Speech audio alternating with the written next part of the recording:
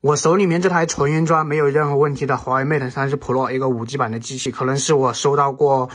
同型号迄今为止最便宜的一台机器了，两千两百九十九的这么一个价格收到的，是不是比直面屏还便宜的这么一个价格？我们直接来进入系统看一下，Mate 30 Pro 一个五 G 版，麒麟九九零五 G 芯片，八加一百二十八 G 的内存。我再给大家强调一遍，这台机器是纯原装，没有任何问题的机器。很多人就不相信了，你说为什么会这么便宜呢？我来给大家说一下，因为它的成色屏幕大家可以看一下，有非常多的细小的划痕啊。基本上就是整个屏幕都有，特别是上面这里有一点严重，然后边框成色的话也是有一点差呀，后盖的话还可以，它就因为成色差，所以说我就两千两百九十九收过来了，比亮机的话是少了好几百块钱，还好它这个只是一些细小的划痕，所以说亮屏以后。我们可以看到，它对屏幕的话基本上是无视的这么一个情况。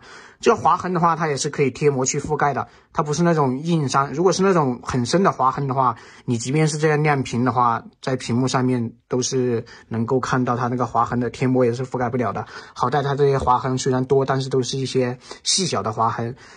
机器的话，我们它搭载了一个麒麟九九零的五 G 芯片，然后一个超大的瀑布屏。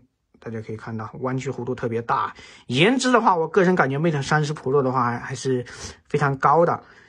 然后同样的机器，同样的型号，这台机器的话，它就要两千七百九九了。为什么？因为它的成色是一个九九新的成色，屏幕没有任何划痕，也是全程贴膜带套去使用的。大家可以看到，这就是同一款机器。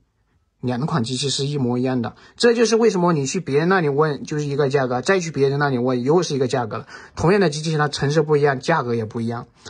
Mate 30 Pro 的话，我个人觉得加上鸿蒙系统麒麟九九零五 G 芯片的话，应该在使用个三年，应该是没任何压力的。目前的使用的话也是非常流畅的，而且后置的话也是一个徕卡认证的四摄，拍照的话也是挺给力的。特别是它这个颜值，我真的说实话，这块屏幕我是特别喜欢的，就是。